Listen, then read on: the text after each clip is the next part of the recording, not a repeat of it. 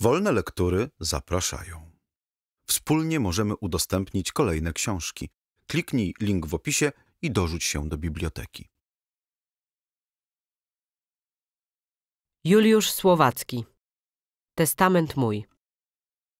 Żyłem z wami, cierpiałem i płakałem z wami. Nigdy mi kto szlachetny nie był obojętny. Dziś was rzucam i dalej idę w cień, z duchami. A jak gdyby tu szczęście było, idę smętny. Nie zostawiłem tutaj żadnego dziedzica, ani dla mojej lutni, ani dla imienia. Imię moje tak przeszło, jako błyskawica. I będzie jak dźwięk pusty trwać przez pokolenia.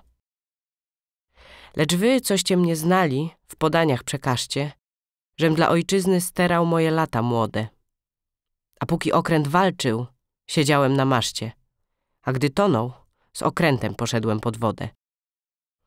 Ale kiedyś, o smętnych losach zadumany, mojej biednej ojczyzny, pozna kto szlachetny, że płaszcz na moim duchu był niewyżebrany, lecz świetnościami moich dawnych przodków świetny.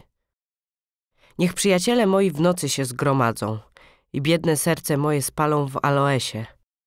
I tej, która mi dała to serce, oddadzą. Tak się matką wypłaca świat, gdy proch odniesie. Niech przyjaciele moi siędą przy pucharze i zapiją mój pogrzeb oraz własną biedę. Jeżeli będę duchem, to się im pokaże. Jeśli Bóg mnie uwolni od męki, nie przyjdę. Lecz zaklinam. Niech żywi nie tracą nadziei i przed narodem niosą oświaty kaganiec, a kiedy trzeba na śmierć idą po kolei, jak kamienie przez Boga rzucane na szaniec. Co do mnie, ja zostawiam maleńką tu drużbę. Tych, co mogli pokochać serce moje dumne. Znać, że srogą spełniłem twardą Bożą służbę i zgodziłem się tu mieć niepłakaną trumnę. Kto drugi tak bez świata oklasków się zgodzi iść, taką obojętność jak ja mieć dla świata, być sternikiem duchami napełnionej łodzi i tak cicho odlecieć jak duch, gdy odlata. Jednak zostanie po mnie ta siła fatalna, co mi żywemu na nic tylko czoło zdobi.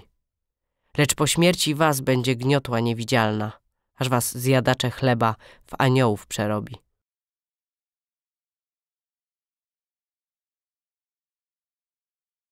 Audiobook pochodzi z darmowej biblioteki internetowej Wolne Lektury. Wspólnie możemy udostępniać kolejne książki. Kliknij link w opisie i dorzuć się do nowych nagrań. Audiobooki wolnych lektur są udostępniane na wolnych licencjach, co oznacza, że możesz je swobodnie wykorzystywać, zmieniać i publikować pod warunkiem przestrzegania prostych zasad, które znajdziesz na stronie wolnelektury.pl.